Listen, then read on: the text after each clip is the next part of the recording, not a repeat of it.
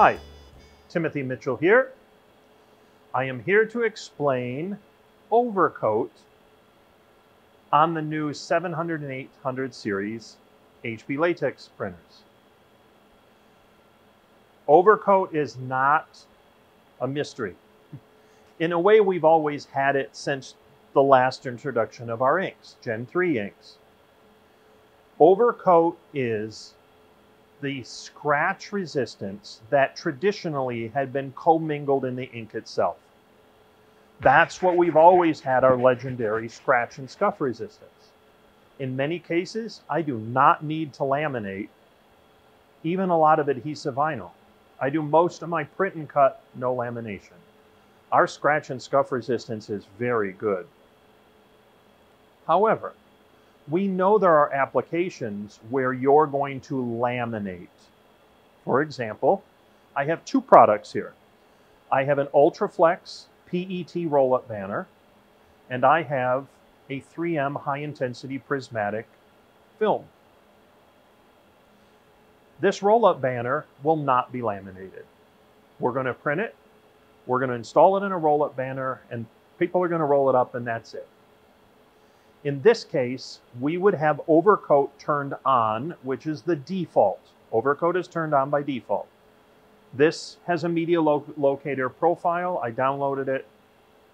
The, the overcoat is almost always set to 0.5, so you need very little amounts of it.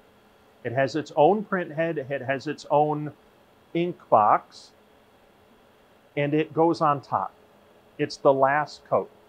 So it gives us our traditional scratch and scuff resistance and it stays right on the surface and it does exactly what I need it to do.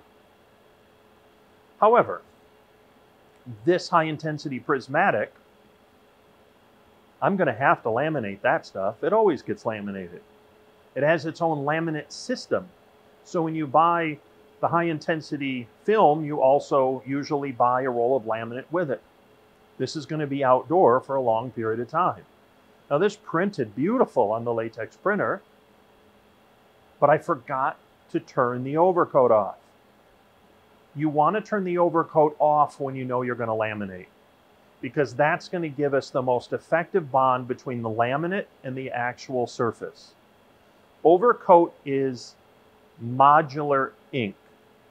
You can either have the anti-scratch built in, or you can say, I have a film or liquid-based laminate and I no longer need an overcoat.